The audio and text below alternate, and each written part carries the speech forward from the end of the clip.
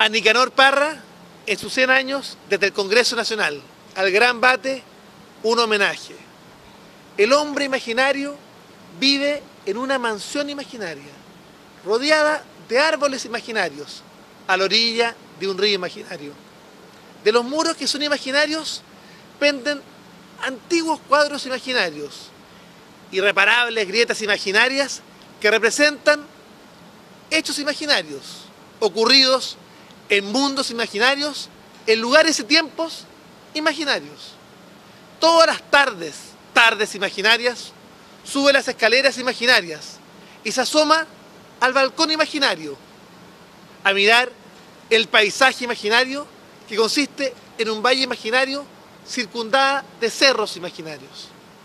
Sombras imaginarias vienen por el camino imaginario entonando canciones imaginarias a la muerte del sol imaginario. Y en las noches de luna imaginaria sueña con la mujer imaginaria que le brindó su amor imaginario. Vuelve a sentir ese mismo dolor, ese mismo placer imaginario y vuelve a palpitar el corazón del hombre imaginario.